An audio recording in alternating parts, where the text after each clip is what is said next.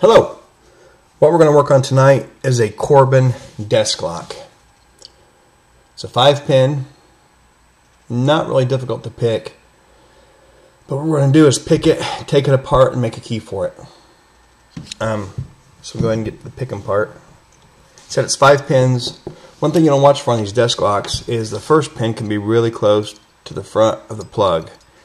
So your tension bar can hit it a lot of times. So what I do is put the tension bar in and pull it out just a hair. That way I can be sure that I'm not applying tension to the first pin. And then we'll go ahead and pick it here.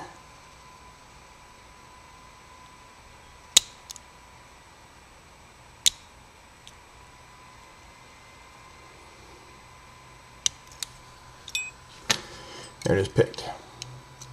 So not much to this one here. We'll go ahead and leave it picked and we will take it apart. Put the picks away. Screwdriver.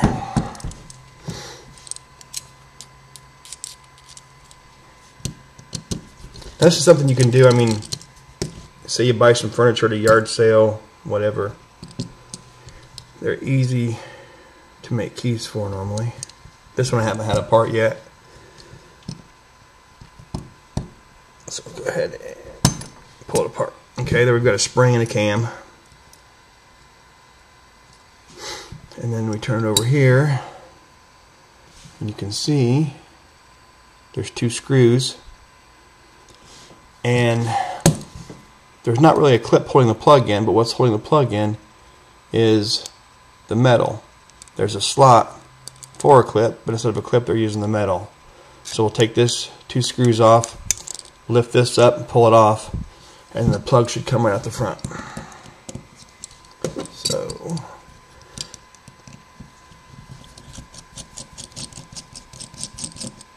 that screw. That screw.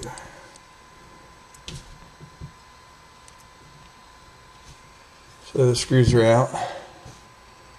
So go ahead and lift it up and pop it out. Now the plug is free.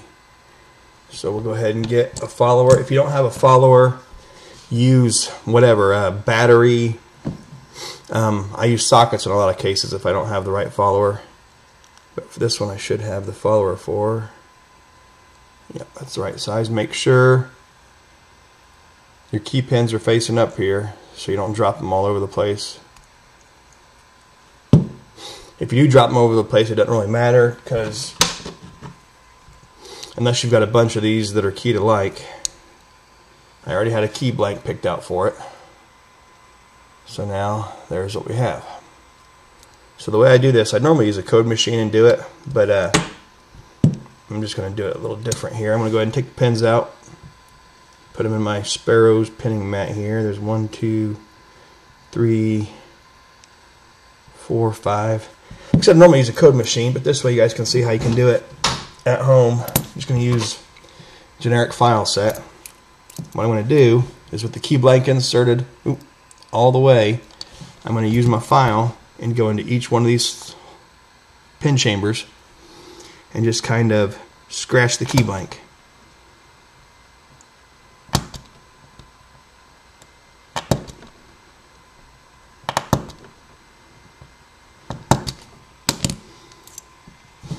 There I have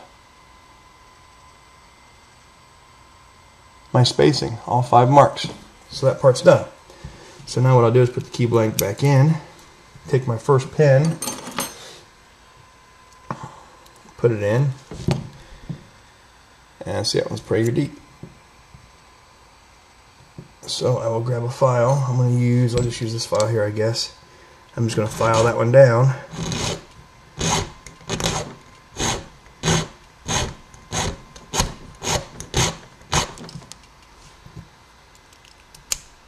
Until it's flush.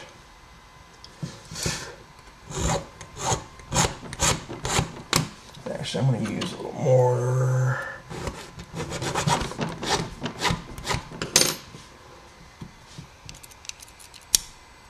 Still got a ways to go. To speed this up, I'm going to use a little bigger round file here.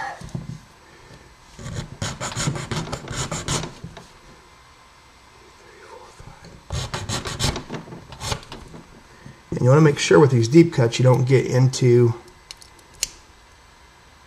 your other cut. So what I might do is go ahead and mark number two, which is right here.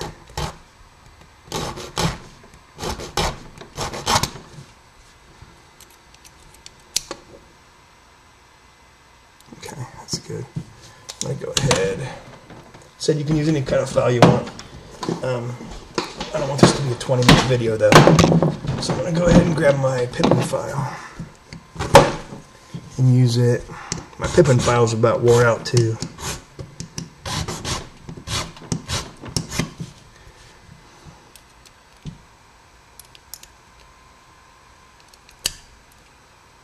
Got a ways to go. I'm gonna go ahead and put number two in too. Number two is a deep one. And just file down, like I said, until they're all flush. This first one is kind of a deep one. We're getting close to number three also.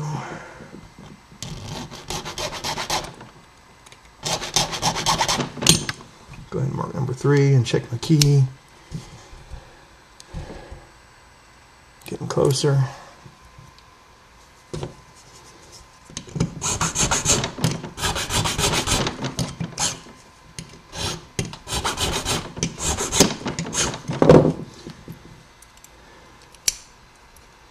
Getting really close now.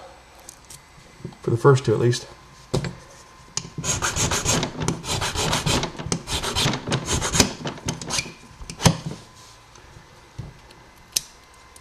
Number two is good. Number one, I need a little deeper.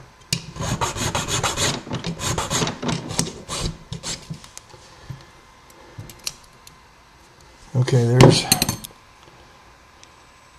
one and two are flush. Now we'll drop in number three. Three isn't too bad.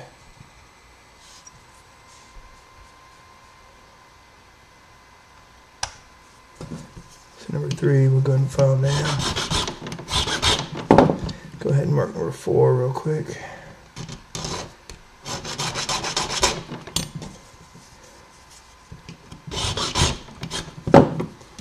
Check it. Don't want to go too deep.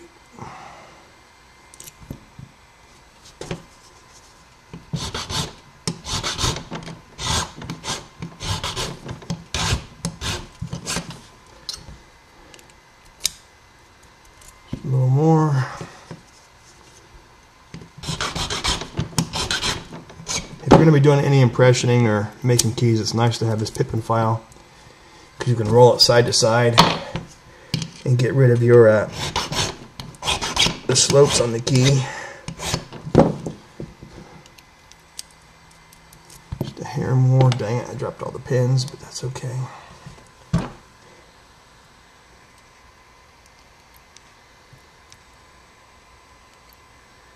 If you do happen to go too deep on one, just rearrange the pins if you need to.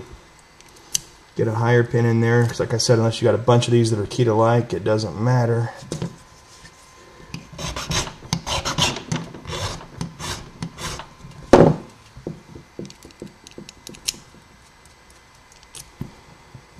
Here more than three.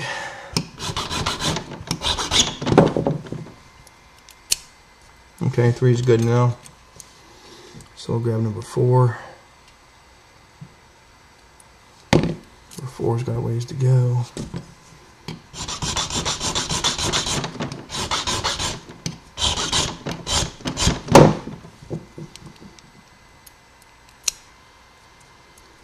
Okay, just a hair more there.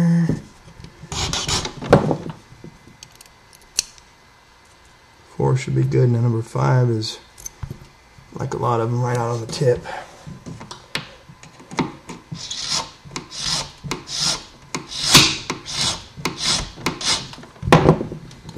Just getting a mark there so I can see what I'm doing. And there's number five. Number five's got a ways to go.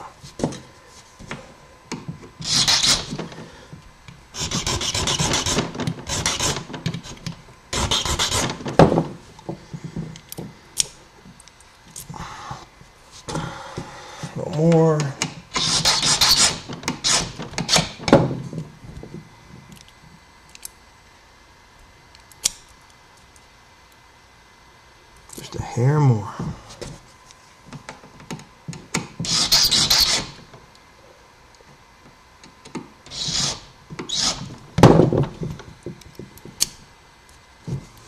And there's the key for it. All five pins are flush. Should be able to put it back in the lock.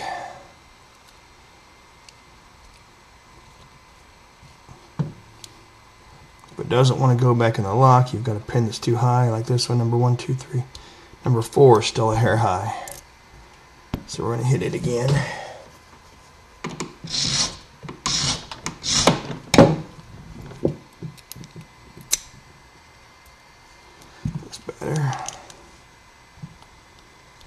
And it's going in better. Okay, so the key's in it now. And the key works it. It's still a little tight. That's okay. Um, take the key out and look at it and look for some marks. I hope you can see my marks or not. Number five, you see that dot in number five. So I'm going to smack that with the file. Not smack it, but hit it a time or two. And check it again. That turns a lot easier. Another thing you can do is turn it and kind of bounce it with your file. And just kind of hit the key head a little bit. And pull it back out. I'm getting a good mark in number one. You see that dot right there? It's standing out really good. So that, I'm to hit that one. And number three is marking also. And there it is. There's what the key looks like. Really deep cut in number one. So uh, I'm not going to uh, put this back together on cam right now. Y'all saw how it came apart. It goes back together pretty much the same way. Um, because the video is already at 12 minutes, so it's going to take me a day to upload it. But uh, there it is, a Corbin picked and a key made for it. One other quickie I wanted to show you here real quick. Um, bam, bam, bam. Get a lot of desk locks that are froze up that don't work at all. Whenever you get a desk lock, what you want to do, if you're having problems with it, check it. See, this one here is another Corbin. This is a newer Corbin. We put the tension bar in and try to turn it.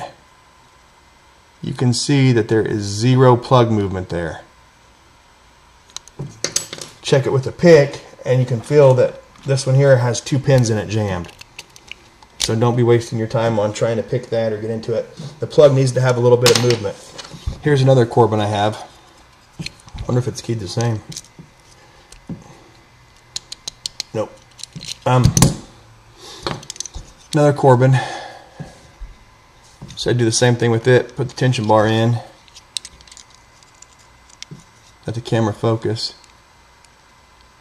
And you can see the plugs moving on this one. Got a little bit of movement. That's all you need is a little bit. But this one's good to go. So uh, just check that before you get frustrated trying to pick one of these little cam or desk locks. They are, they can be a little tough to pick sometimes because the pins are smaller in diameter and they're closer together than they are in, say, a Kwikset or Schlage. So uh, that's it this time. Corbin picked in and key made for it. Thanks for watching.